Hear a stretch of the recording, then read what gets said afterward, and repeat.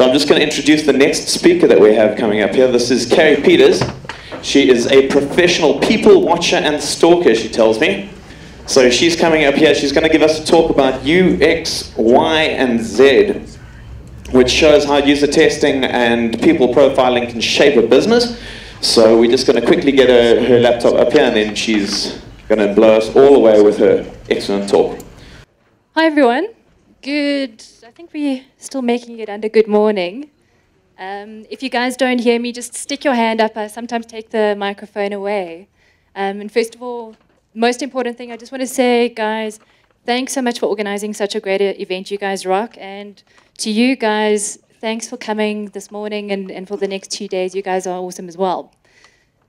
First thing I want to do is ask you a question. Out of all of you, who checked your phones in the last five minutes? So WhatsApp, email, Facebook, a lot of you. And who checked your screens and your phones in the last one hour? Also, most of you, okay. All right, so we all have our weaknesses. The 45 minutes is quite a long, way, long time to talk, so I'm also going to look at my screen and uh, make sure that my slides are still here. And um, I also am wearing high heels, so I get to hold onto the podium, make sure I don't fall off. Okay, so my talk is mainly about why, and why it's so important to ask the question why, how we use it to influence business and behavior. All right, so about eight years ago, I stumbled upon this discovery, and for me, it was a light bulb moment. And uh, it profoundly changed the way that I see the world and the way the world works and the way we work within the world. Now, most of the successful businesses in this world, they already know this insight. Um, and they spend millions of dollars researching this insight. And what they know is that we are all psychologically and biologically hardwired to behave in a certain way. This is something that the less successful businesses don't really spend time worrying about. All right, so this is how I discovered it for myself.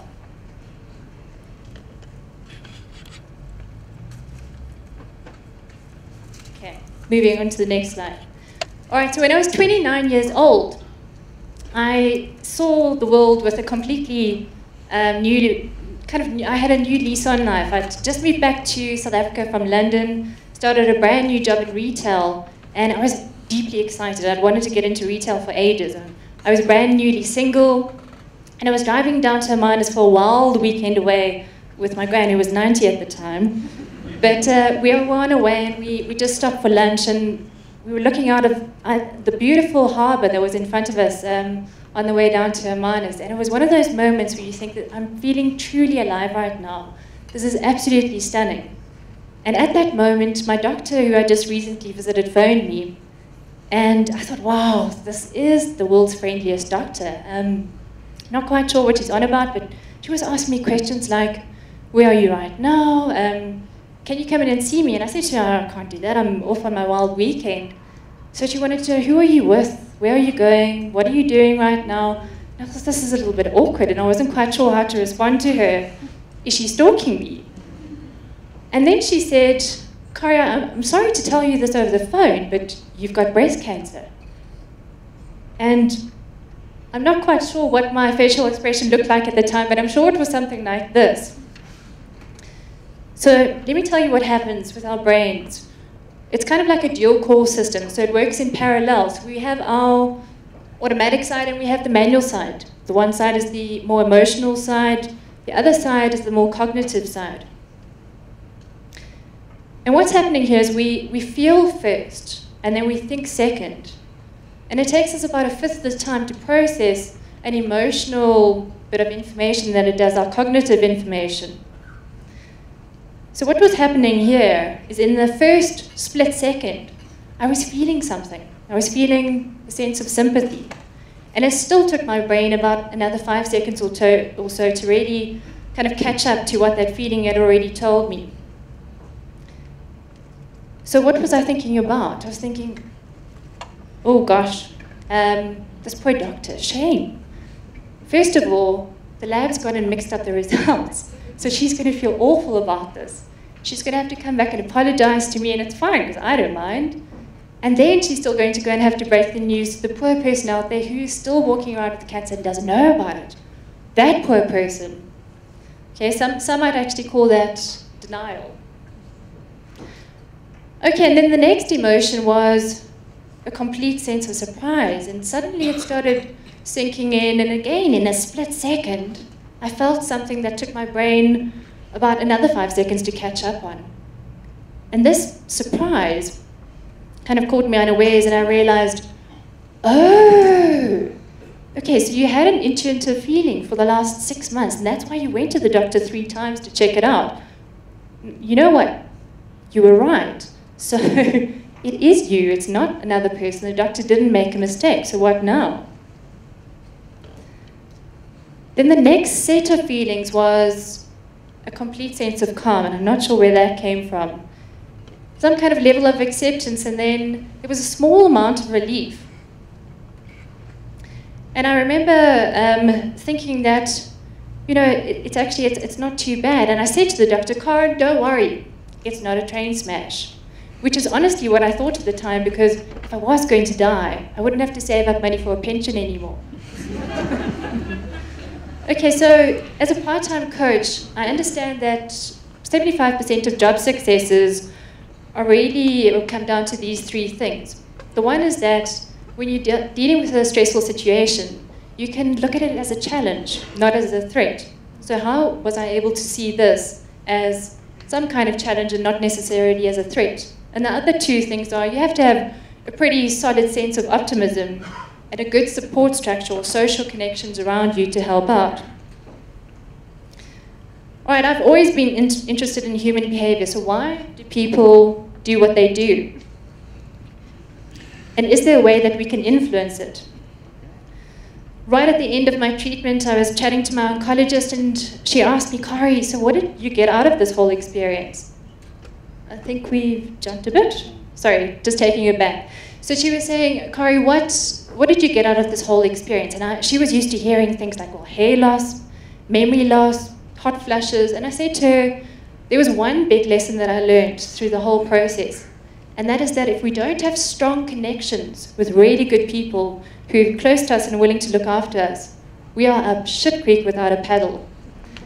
So that's the first time I realized in my life that social connections are our most valuable currency that we have, not just as individuals, but as businesses as well. This is Dr. Donald Winnicott. He's a British, uh, was a, a, British pediatrician and psychoanalyst.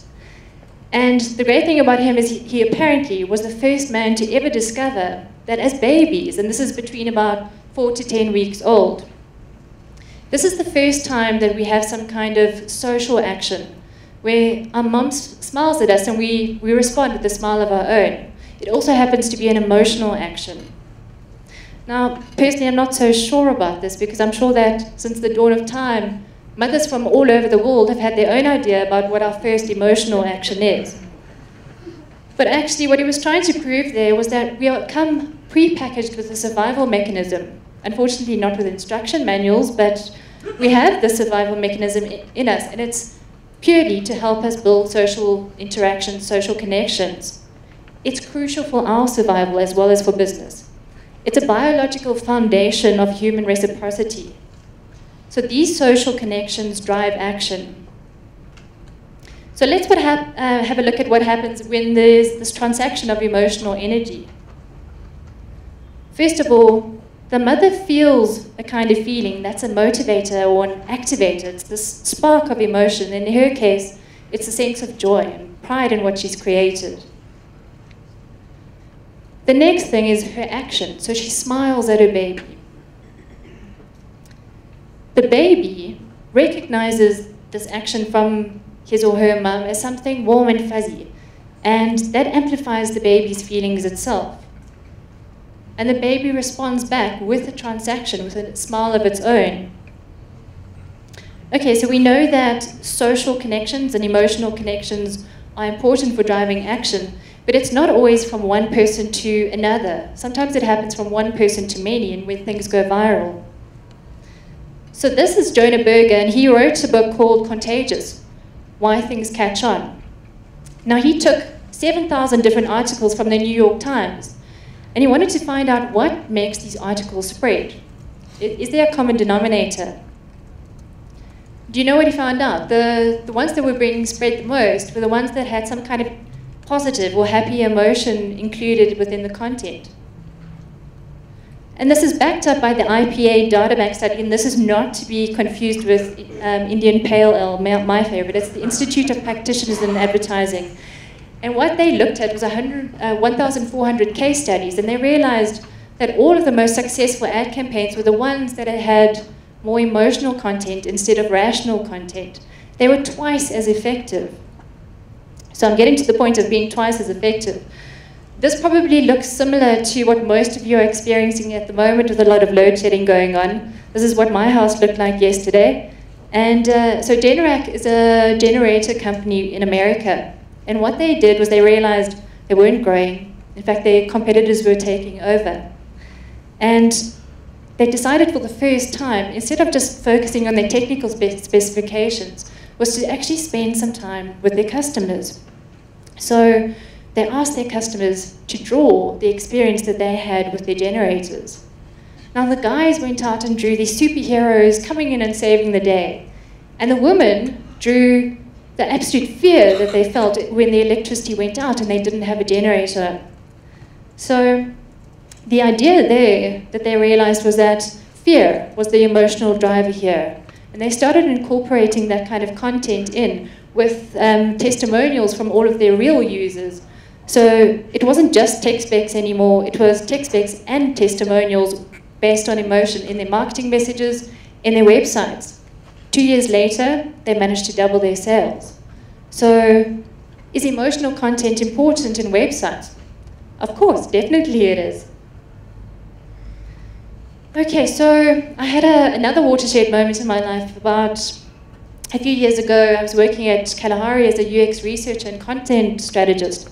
And at that time, I wasn't looking for another job, but Associated Media Publishing offered me a job to come and head up their digital department. And I thought, what do I do? I, I don't actually want to move, but 10 years ago, this was my dream job. So I thought, you know, anyone who knows the, the media industry in South Africa, Jane Raphaely, brands like O Mag Magazine and Cosmopolitan, Good Housekeeping, Marie Claire, how can you say no to that? So I joined, and it took a few months to realize, oh, I don't think I made the right move.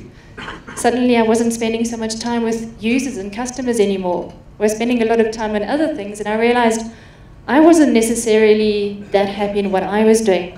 Fortunately, at that stage, I was busy studying my master's level of coaching, and I got to use Associated Media as a platform to do a lot of my own research. And one of the things I wanted to know was what do most women want? And there were lots of different options. So did women want to start their own business? Was it important to, to begin a new career? Did they want better relationships? Did they want more money? Did they want time freedom or financial freedom? Was balance important or did they want happiness? Okay, can anyone guess what it was? And I'll give you a little hint here. It wasn't that. Most women wanted happiness as the most important thing. And that was a, a little bit of a problem for me because this 90 year old grand of mine had spent her life telling me that happiness lies within. It took me about 35 years to realize that, but it, it got there. But the problem was is that most of these women were still thinking that they could try and strive for happiness on the outside, in the external world. That's also a problem because positive psychologists know that even if they know absolutely every detail about your external world, they can only predict 10% of your long-term happiness.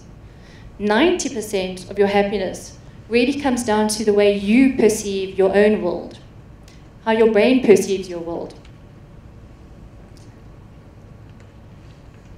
So this is Simon Sinek, and he wrote um, Start With Why. And he says people don't buy what you do, they buy why you do it. This is his famous golden circle, and he explains around this golden circle that we all have a neocortex as part of our brain. This is the part that's the what part. We ask the question what, we analyze data. It's the part where language um, takes place. And then we have the limbic brain, which is all about your feelings. This is where we build trust. This is where we make decisions. This is what drives our behavior, and there's no language involved at this level. So if we communicate from the outside in, we can get customers to understand what our features and benefits are, but we can't really drive their behavior. But if you can communicate from the inside out, then you're driving human behavior, and then you get the customer to a point where they can rationalize their decision. So we know that feelings or motivators are important and they drive action. But how can we communicate persuasively to the inside part that drives behavior? How can we influence feelings or perceived experience? And how can we improve lives? So, can we hack feelings and can we ha- hack a happy emotion? Yep, you bet we can. So, there's one cool little thing called oxytocin. It's a neuropeptide found in mammals. And this is responsible for building trust, social connections, and it's released with mothers who giving um, giving birth to a child or breastfeeding. So it's the kind of things that really force you to survive and, and make sure that you keep your child alive. This is what influences your behavior, the choices that you make, the thoughts that you have. So how can we hack this and get it to be released in our bodies? Paul Zak is a neuroeconomist, and he calls this the, the moral hormone or the love hormone. And he did a study, and what he found was that social networking creates the same kind of release. So our brain still interprets that as an in person kind of interaction or relationship. So social networking is one way of doing it, and the other way is if you can go and give someone a hug eight times a day, and that'll release it for you. This is an element that scammers use really, really well. Um, in fact, he, he, he, was privy to this by personal experience, where he said that if you build trust in someone, that's one thing. If you show someone that you trust them, that'll give you the same kind of release or even better kind of release. So when he was younger, he was a student, he was working in a, a gas station, and he didn't really know much at that stage. But this guy came out of the bathroom and said, he's just found this golden necklace in the bathroom. He doesn't know what to do. It looks like it's quite expensive, so they've got to go and find the owner. Someone must be missing it. And just at that moment, the phone rang. So Paul answered the phone, and, and the guy on the other on the other side of the line said, "He's in so much trouble right now. It's his anniversary. His wife's going to kill him." He got this golden necklace, but now he's gone and lost it somewhere. He doesn't know what to do, but he is going to offer a $200 reward for anyone who finds it. So he said, Oh, golden necklace. We've got one here. In fact, the guy's just brought it from the bathroom. Don't worry, it's safe. And the guy said, Oh, fantastic. Please, please tell the man, stay at the gas station. I'm on my way. I'll be there in half an hour. And I'd be more than happy to give him $200 reward. So he puts the phone down and he says to the guy, problem solved. The guy's on his way. And, and guess what? You're going to get a $200 reward for this. And the guy said, Oh, you know, he wishes he could stay, but he's really got this important job interview and he needs this job. He has to go. And uh, he needs to go now. So he said, But it's fine, you know, you've been so helpful, you've been really kind. So what I'll do is I'll give you the golden necklace. You can give me $100, and when he arrives, he'll give the $200 to you and you can keep the whole thing. So you see it, right? You got, you got nailed there. Dopamine is another thing that we can hack. So it's the kind of thing we feel with emotion. It's, it's the sense we get when we achieve something, when we feel recognized, or also when there are little bits of, um, little chunks of information, when we feel enticed to read a bit more and read a bit more. It's kind of like a soap opera effect. Well, one way that we can hack it is with music. So when we listen to music that makes us feel good, like Vivaldi's Four Seasons, that releases um, the, the stuff in your body. But the cool thing about that is, is a lot of people expect that it's, it's the chords, um, the major chords that cause the happiness, and the minor chords actually cause sadness. It's not that at all. It's actually the tension and the release and the way your own brain interprets the music that makes a difference. So, ah, the audio is working.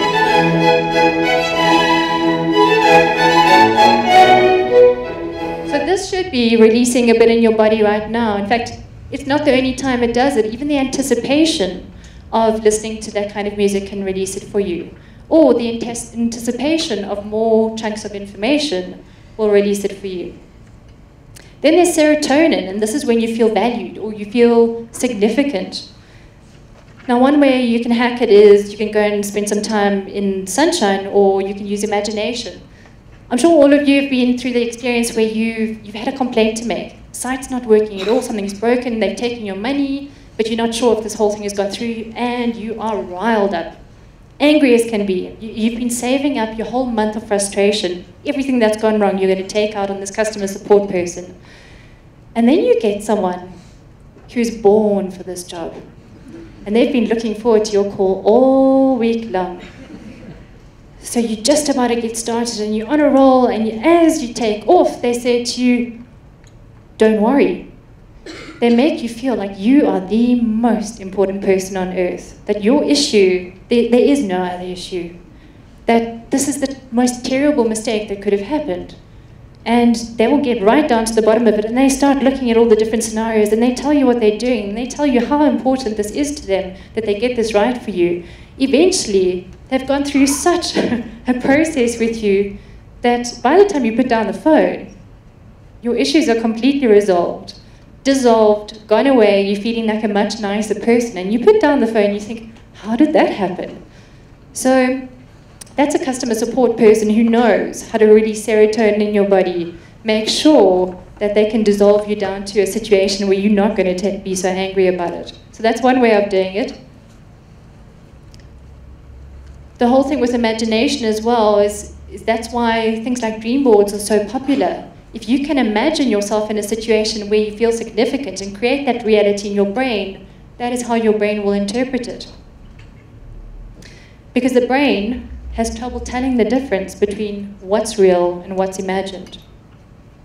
Now, Maslow did a study of what, what makes people lead a happy life. What makes them have better relationships in their life and good social connections? Why do they feel like they're doing work that matters to them? Why do they feel like they have purpose? So he looked at a number of different determinants, things like what was their family structure like? Was it good and positive, healthy, or was it a bad situation? What were their finances like? Were they in a very good financial position? They didn't have to worry about anything, or were they struggling a little bit? Was their health good or bad? Had they ever experienced any major losses? And what he found out from that study was these people were people who lived in the peak potential of possibility. I almost feel like you need to say it with a little bit of a Deepak Chopra kind of tone with the peak potential of possibility. But, but he does speak about that quite a lot. But it's using all five of our senses, but not only the five senses. It's make, also making sure that you don't let go of your dreams. These were people who believed that they could do whatever they wanted, be whatever they wanted, and create whatever they wanted. So, in a way, they would manifest their own reality. Another study was done, and it's called the Genius Life Study. Now, first of all, what makes up a genius? So, this is a person who can take in information and shape that information through a number of different modalities. So, five of them are the five senses. The other one is intuition. The next one is imagination. Now, this is something I didn't know, but apparently most of us are born at that level of genius. By the time we reach the age of five, only 20% of us are operating at that level. And by the time we reach the age of 20, we go down to about 2%. So, what is causing that disconnect from when we were geniuses to what we are now today? It's the way our brain processes the world. It's how we perceive ourselves. It's the reality that we create for ourselves, our own internal judgment. We're too old to do something. We don't have the right connections. We don't have the right skills. It's that internal doubt. And then we get to endorphins, and I'm sure all of us know how to hack that one. A little bit of exercise. But exercise is not the only way. It turns out smiling and laughing also causes the same kind of release. But even the anticipation of a good joke or the chuckle that you're going to have can still release that. So now we know, we know that it's important to build connections, strong social connections with people as individuals and businesses. And we know that bringing in some kind of emotion or, or feeling is important as well. So, why then are so many businesses putting data over people? Why are we, why are we treating people as if they're just data reading, conversions, dollar signs, people who've registered, people who've actually checked out? So instead of treating our customers who we've built the product for in the first place, we're treating them like a piece of data. And then we think that if we measure all of that data, that's going to tell us everything we need to know about what improvements we need to make. We make uh, assumptions, and sometimes based on incomplete information. And then we make decisions based on what we think we know. So, not everything is measurable. Things like feelings and emotions, frustrations, these things aren't necessarily measurable in the same way. We don't know if these people were treated well. We don't know if they were happy with the experience, and we also don't know why they dropped off. So I'd like to ask you when last did you spend time with your customers? When last did you watch someone neutral, not your mother, not your teammate, not your boss? When did you watch someone neutral use your product? So what I would really like to see in UX businesses or, companies is that we break that limited design cycle. That instead of being so reliant on the metric revolution, we actually go a little bit further than that and move beyond that to a behavioral revolution. I'd like more of our businesses to ask why, on top of what, and I'm not saying that you should stop asking what, I'm just saying that there is an extra question after that. Every path should originate from the people who make your company possible. Okay, so this is Kalahari.com back in the good old days when it still existed. Now, we discovered a, a little bit um, of information that data couldn't tell us at that stage. So the first thing we did is, um, well, first of all, Kalahari was uh, not user-centric at all by the time I joined them. They, they made sure that all decisions were led by category managers. Everything that you saw there was driven by category managers and marketers. That was pretty much it. And then we started off a UX department and we really got stuck into trying to do things properly. So we came up with a UX strategy. We made sure we aligned that to the company objectives and the brand attributes. And we shared this with all of our employees. So we did training, we, we created documentation. And then we went into customer understanding mode. So we looked at all the feedback we could collect from customer support from all over the business. We did site audits, we made sure we did competitor benchmarking. We did persona, uh, persona profiles, created some of those. User journey maps, user testing, the whole caboodle that you guys are used to seeing. And then we would go into the UX design process. And we would use each one of those insights and we'd get our clients involved, our clients, our customers, and they would all take part in these participatory design workshops. And then we would do iterative prototyping. So nothing went into that design without users being involved. And we were extremely proud about it at that stage because it was brand new in the business, hadn't been done before. So it was really starting something off from scratch. Now, I'll tell you one of the problems that uh, we, we came up with that data was telling us, but they couldn't really tell us why. And the problem was something like uh, cameras weren't selling. So data was telling us that camera, cameras weren't selling. Now, if we had have looked at the problem from purely the business kind of uh, side, we could have made, based the assumptions on, well, maybe we didn't have a big enough range. Um, maybe the category managers should go and do something about that. Maybe the price was too expensive, or maybe it was just that our customers didn't perceive the difference in price, that we were actually a lot less expensive than our competitors were. So now if we had jumped at a solution right at that point in time, we would have made a mistake. We would have said to the category managers, you know what, if you don't have a wide enough range, go and broaden your range. We would have said to them, drop your price. Maybe that'll sort out the problem. And we would have said to the marketing department, spend more money on promoting our cameras. That will solve the problem. So what we could have done there is we could have changed the behavior and gotten or motivated people to buy more cameras. Now, this is BJ Fogg, and this is an example from him of why we would have possibly been making a bit of a mistake there. Now, he is the Stan, he or he started up the Stanford Persuasive Lab. Very smart man. He created his own diagram here. What he was trying to say was that if we have high motivation but a low ability to do something, so let's say, for example, site's really damn difficult to use, then what we'll need to do is we'll have to facilitate or, or add a little bit of extra help. So we might need some help with text, maybe a video, maybe extra imagery, but that person will need help to complete their task. Now, if we have low motivation but high ability, so a site is really easy to use, then what you need to do is spark something there, motivate that person to complete that action. That'll be something that's emotion based, maybe fear or hope. But if you have high motivation and high ability, then you're golden. Then all you need to do is drop a little signal, drop an email, say, here we are, come by us, and there, you're sorted. So now, what he was saying here is that there's, there's a little bit of a problem. We, what do we focus on first? As a business, do we focus more on motivation or do we focus more on the ability? And what he found here was that motivation is quite expensive.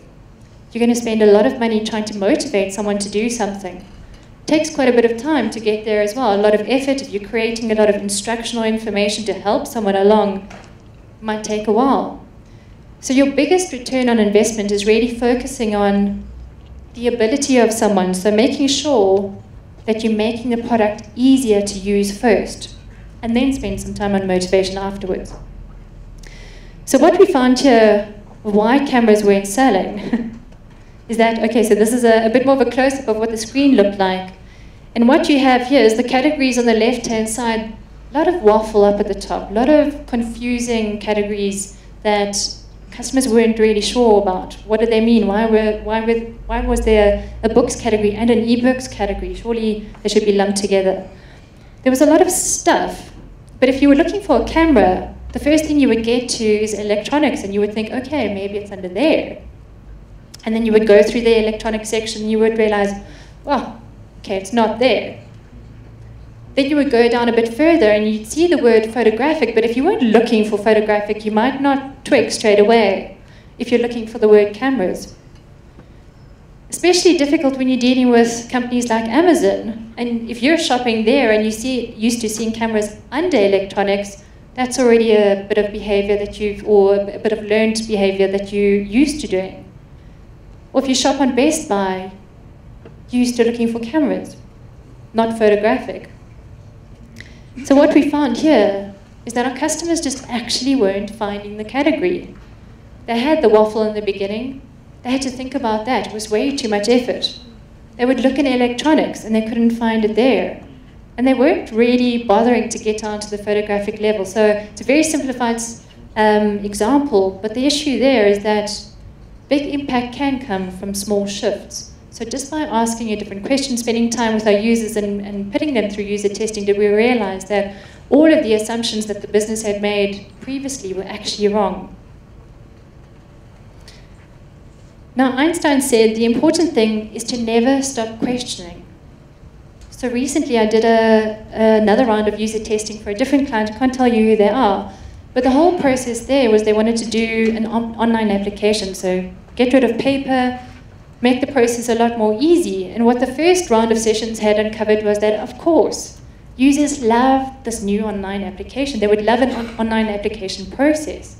But if we stopped asking questions at that point, we wouldn't have realized that, of course they did, it was easier than paper. But the problem is, is that with more user testing and chatting to these users and spending more time with them, we realized it wasn't as simple as that. They still expected someone from the company to sit with them and help them through the application process because it was still too complicated.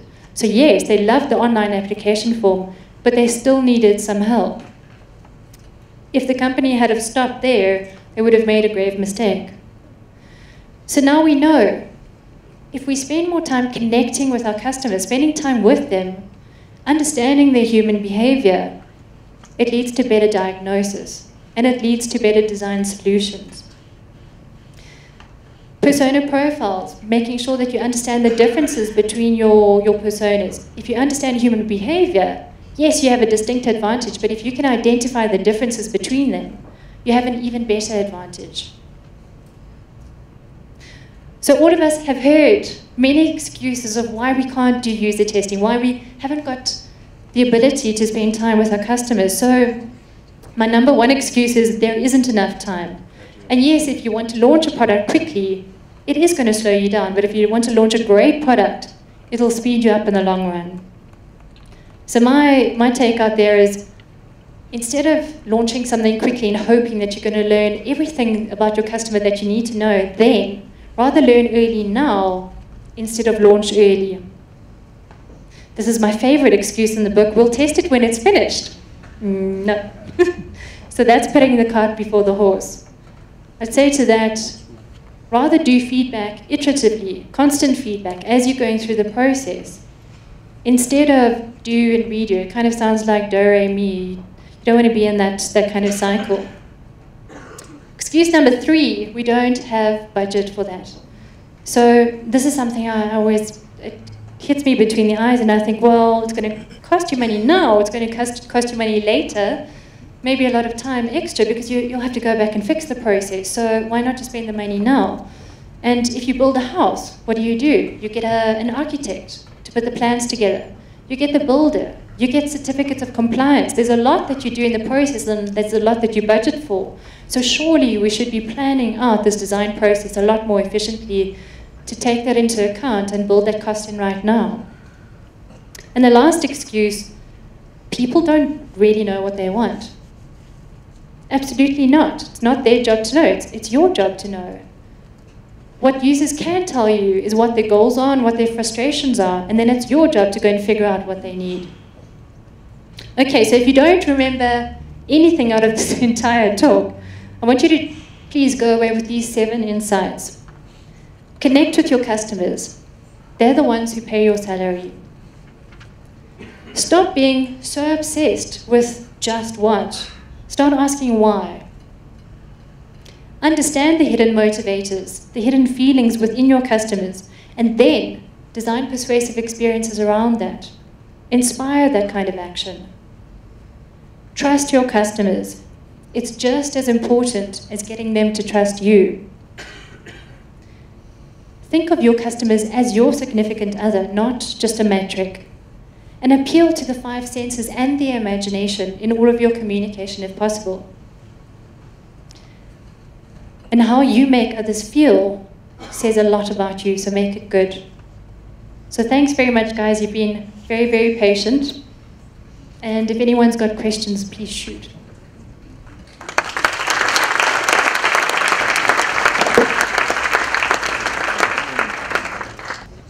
Um, regarding the users not being able to find the cameras on Kalahari, what was the difference user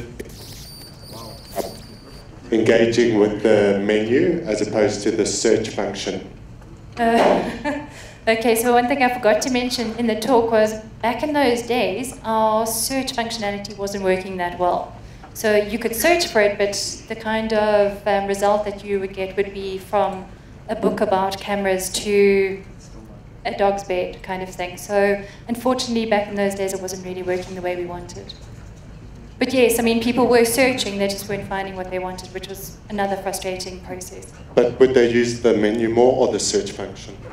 Um, well, we found that initially customers were going for the search function, but because they were getting used to not finding what they wanted, the fallback was, was the menu, which is different to other e-commerce clients that I've been working with recently, where obviously search is the biggest thing, but you learn that behavior. Anyone else?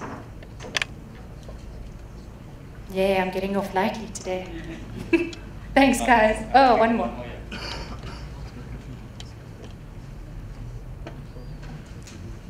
You mentioned testing and connecting with your users as, as soon as possible. What if I'm Apple? Because Apple just released the Apple Watch, for instance, and okay, let's take it to the iPhone, a new product. How do I then do, do what you're suggesting? Connecting soon with your possible users, because it's a new, brand new product. Well, I'm assuming that the smart guys at Apple have spent a lot of time with people, with their customers, generally with people before they've even got into the process of making something. So I think we fall into a cycle where we start designing something or we start thinking about what we need and we start throwing ourselves into the design process without first starting to spend time with people. And I'm sure that they've done that through the process. Was I am understanding your question properly? Kind, kind of. because I've, I've, I've read the book on Jony Ive. He's heading the design um, department now at Apple. And I'm not too sure if they, if they do come up with a new product that that is the case. That is based on spending time with users. What, what I'm asking is if, so, so a new product is released, it's, and let's, unfortunately I'm using Apple because they're very secretive about what they about to release. How do they test it? How do then what you saying connect with your users as soon as possible Okay. come into play? All right, so I, I can't speak for Apple itself. I don't know exactly how they run their operations. But what I do know is they do spend a fortune on research. So whether that research is spending time with customers and spending time with people, whether it's spending time with psychologists who have that in, insight or neuroscientists, there's a huge amount of money spent on understanding human behavior. So it's not necessarily just spending time with people, it's also spending that time and money on the research with incredibly smart people who know people and who know human behavior. So I think that that's one thing that they've, they've really gotten right. They've understood human behavior, whether they've spent time with people or researched it, and then they've been able to apply that understanding of human behavior within their design. I hope that, that hits the nail a bit close on the head. It does. Okay, cool. Thanks. I was gonna mention something else though, because what if you take it to Samsung versus Google versus Apple Pay versus Google Pay versus Samsung Pay? And why is Apple so successful? Well, I can't answer that one for you, but you know what? I'm going to go and Google it. and But then you've thank- got my email, and I'll uh, drop me an email and I'll answer that for you. Sorry, guys. Google is my friend, and so is Wi Fi. So if I was stuck in a tropical island, those are the two things I would miss the most. I wanted to ask, how do you handle a scenario where your customer isn't your user? So, for example, businesses where they mandate an application to do something which they then pass on to their employees in an organization. So, often that I find there's a lot of resistance because the employees feel that uh, the application forces them to do something, even though the business puts it in place to make their life easier. So, how do you design for that? Uh, and obviously, delight the users when you have this initial resistance that what's being given to them is more to monitor them rather than help them in what they're doing. Okay, so this is where my background in marketing plays out. So I started my career in marketing, and this is where we, we spend a lot of time with our readers, with our um, customers to, to understand what issues they had around it. So if they had concerns, worries on how this was going to affect their life, we would literally, as marketers who are supposed to be able to do this kind of thing and sell ice cubes to Eskimos, was we would figure out a way that would make it um, more friendly for them, something that wasn't as much of a threat. So I think in that, that kind of process, you're still spending time with the guys who are going to be in, using the application in the, the end. You're finding out what their frustrations are. So you're finding out what they don't feel safe about. And then you're figuring out ways to build a bit more trust in that level. So I think it's, there's a lot of participation that happens there. I'm not sure what kind of level you're talking about, how many people would be using that application in the end. But it's still, it's, it's still using, um, spending a lot of time with those people and finding out how you can alleviate that resistance. So there's always a way around that. It's just, it's getting down to what it's going to be. You can only really do that by spending time with those people. Well, at least I think so. Not everyone thinks so, but I enjoy that, that approach. Uh, all right, in my scenario, very rarely do we interact with all the users because we've got probably 100 customers and each of those have hundreds of users. So how do you identify, you know, your user subset or your uh, persona profiles that you're going to be designing for when it's so varied, uh, varied, coming even from education level to people who've never used devices before all the way up to, you know, managerial position and iPads and all? Okay, so this is sounding like a pyramid scheme. I'm not sure what kind of business you're talking about. Uh, so just to give you background, uh, we design for field force. Okay. So obviously companies like um, retailers, they've got a field force out that goes and collects marketing data or checks products in store. Um, but the variety obviously just covers the board in terms of how capable their employees are because you get entry-level people with basic education and you get people in managerial positions who know how to use the hardware. Okay, so my question there is, is why? why are you not spending time with those people? Why don't you have access to them? There's just too many people. Okay, so but then you break that down into sample size. So you would obviously not speak to everyone. You speak to a small amount of them. Um, and generally, thank goodness, UX is not necessarily like, like, marketing, so you don't need as big a sample size. But what I do try and do is get a range of different people with different kind of personas. So you, you still need to have some idea in your mind about the different kinds of people you want to study first to make sure that they're taking those kind of different profiles so you get a broader range of results. Um, that's the way I would go about it.